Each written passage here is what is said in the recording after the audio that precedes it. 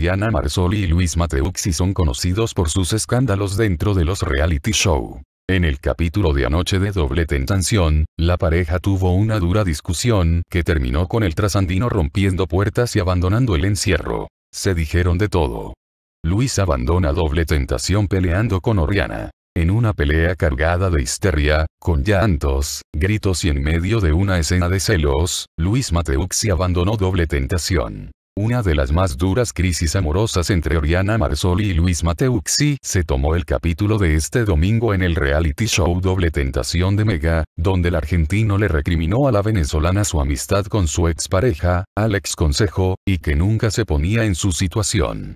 Hecho que provocó una larga lista de dimes y diretes entre la pareja, el llanto de ambos y la petición de Mateuxi de abandonar el encierro.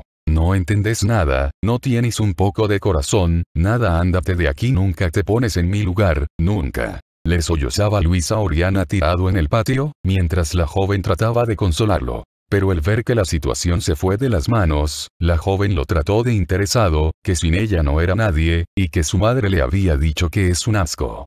Palabras que sacaron de quicio a Mateuxi, quien se dirigió hasta la producción con la finalidad de abandonar el encierro. Las reacciones no se hicieron esperar en redes. Después de la última pelea de Oriana Marsoli y Luis Mateuxi, en la que se dijeron todo lo que pudieron, en una escena de celos que tuvo llanto, gritos, empujones y que terminó con el abandono de Luis de doble tentación. Las redes sociales reaccionaron inmediatamente frente al descontrol y dramatismo de la escena que protagonizaban la venezolana y el argentino.